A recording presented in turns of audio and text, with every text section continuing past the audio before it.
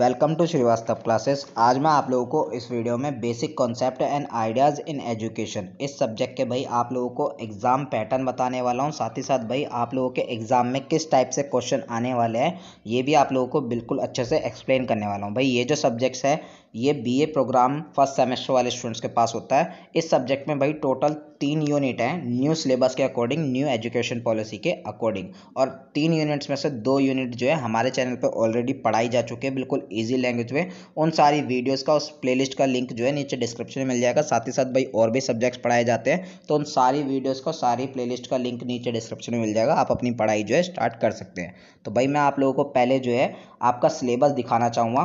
तो भाई इस सब्जेक्ट में आप देख सकते हो ये जो सिलेबस आया है आपकी स्क्रीन पे, ये सब्जेक्ट का भाई पुराना सिलेबस है, जो पुराना हुआ करता था, उसमें भी तीन यूनिट थी, लेकिन जो तीसरी यूनिट थी, इसमें गिनती के सिर्फ़ चार चैप्टर थे, पुरानी यूनिट के अकॉर्डिंग सॉरी पुराने सिलेबस के अकॉर्डिंग इस सब्जेक्ट में। और ये हिंदी में भी मैंने यहाँ पर दे रखा तो हिंदी में भी आप देख सकते हैं, ठीक है?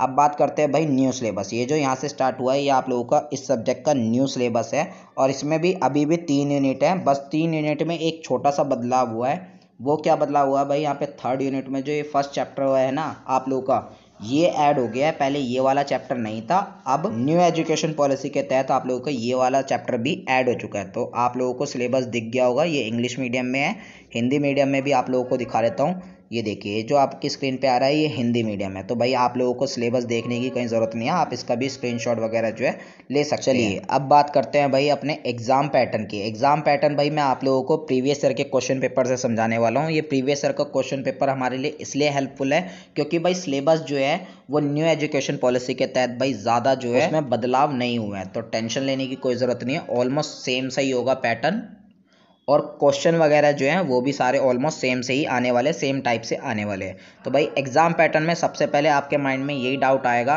कि भाई, हमारा एग्ज़ाम जो है, वो कितने नंबर का होने वाला है? तो आप लोग साफ़ साफ़ देख सकते हो, आप लोगों का एग्ज़ाम जो है, वो आप लोगों का सेवेंटी फाइव मार्क्स का जो है होने वाला है। अब 75 मार्क्स में से आप लोगों को पास आउट होने के लिए कितने चाहिए? तो भाई आप लोगों को 30 मार्क्स जो है वो लाने होते हैं पास आउट होने के लिए हर एक सब्जेक्ट में 75 में से। इट मीन्स आप लोगों को 40 परसेंट जो है वो बनानी होगी हर सब्जेक्ट में पास आउट होने के लिए। अब आप लोगों के माइंड में ये भी डाउट आएगा कि भाई एग्ज़ाम ड्यूरेशन क्या होती है? तो भाई यूजुअली जो है आप लोगों की एग्ज़ाम ड्यूरेशन जो है वो तीन घंटे की होती है, यानी कि आप लोगों को तीन घंटे मिलते हैं एग्ज़ाम में सारे क्वेश्चन अटैम्प्ट करने के लिए। अब क्वेश्चन भाई आप लोग कितने आएँगे, ये भी आप लोगों को बता देता हूँ भाई, आठ से दस क्वेश्चन आने के चांसेस है आप लोगों के और हर बार इतने ही आते हैं।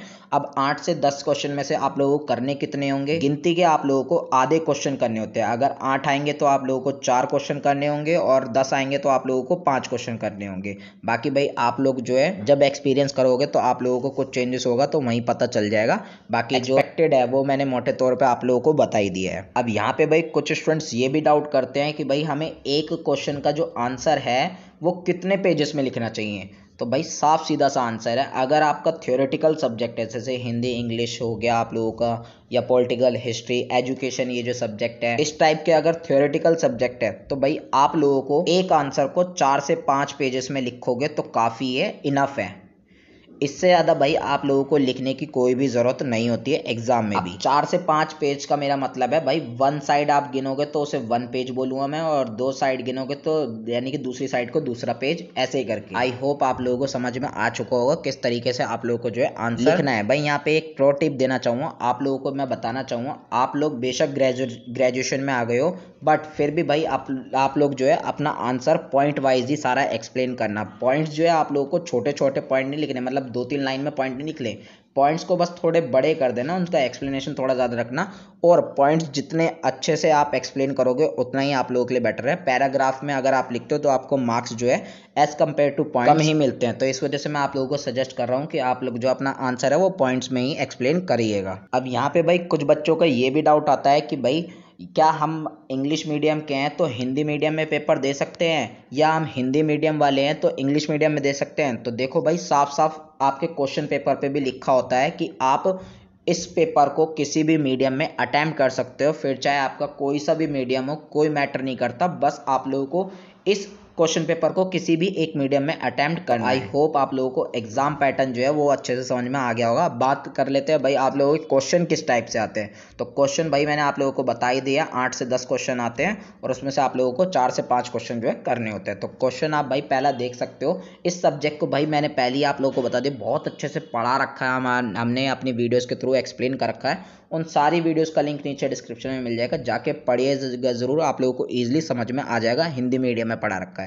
तो देख सकते हो भाई, पहला क्वेश्चन जो है आप लोगों के, ये आपसे पूछ रहा है भाई, बच्चे की प्रकृति, शिक्षण एवं स्कूल के संदर्भ में कृष्ण मूर्ति के शैक्षिक विचार जो है, उसके बारे में पूछ रहा है। तो ये भाई सारी चीज़, जितने भी आप क्वेश्चन देख रहे हो, सारी चीज़ अच्छे से एक्सप्लेन की गई है हमारी वीडियोस में, आप जाके देख सकते हो।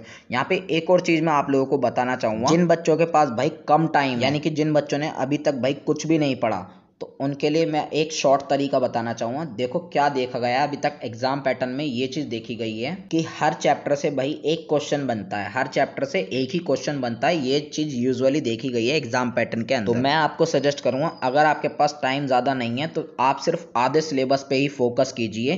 क्योंकि भाई वैसे भी आप लोगों को चार ही क्वेश्चन अटैम्प्ट करने होते हैं, आधे ही क्वेश्चन अटैम्प्ट करने इट मीन्स अगर आप आधे भी कर लोगे तो आप इजिली पास आउट हो जाओगे। जब एक चैप्टर से एक क्वेश्चन बनेगा ही और आपको आधे ही करने तो आधे सिलेबस अगर आप कंप्लीट कर लोगे ना तो आप लोगों का आधा पेपर यानी कि आप लोगों को वैसे भी आधा ही पेपर करना है। और आधा पेपर से आप लोगों का क्वेश्चन जो है, वो कंप्लीट हो जाएँगे, जितने भी आपके रिक्वायर्ड होंगे। आई होप मैं जो बताना चाहता हूँ, आप लोगों को समझ में आ ही गया होगा। फ़िलहाल के लिए भाई, इस क्वेश्चन पेपर में आप लोगों के छह ही क्वेश्चन दिए गए हैं, वो इस वजह से क्योंकि भाई, ये जब ऑनलाइन एग्ज़ाम हुए थे उसका क्वेश्चन पेपर है। बाकी ऑफलाइन जो आप लोगों के एग्ज़ाम हो रहे हैं इस बार, उसमें भाई आप लोगों के आठ से दस ही क्वेश्चन आने वाले हैं, मैं लिख के दे सकता हूँ, ये बात आप लोगों को। बाकी भाई, आप लोगों को वीडियो से कुछ सीखने के लिए मिला हो, कुछ हेल्प मिली हो तो प्लीज़ लाइक बटन ज़रूर दाना और अपने दोस्तों के साथ शेयर ज़रूर करना। फ़िलहाल के लिए मिलते हैं नेक्स्ट वीडियो में। Thank you